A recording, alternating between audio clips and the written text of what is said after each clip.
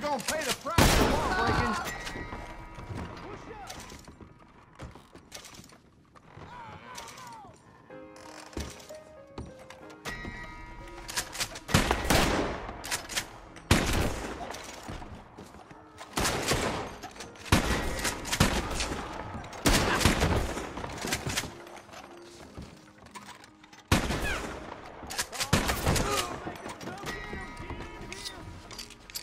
You want dead, some bitch?